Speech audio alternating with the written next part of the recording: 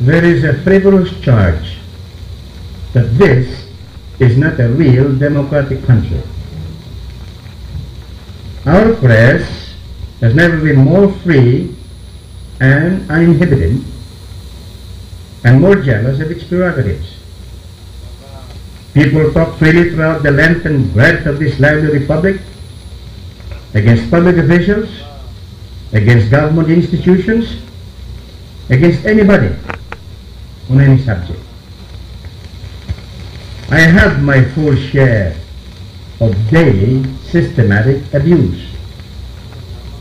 Indeed, our press enjoys the one-sided privilege of attacking and is resentful to the quick if attacked in turn.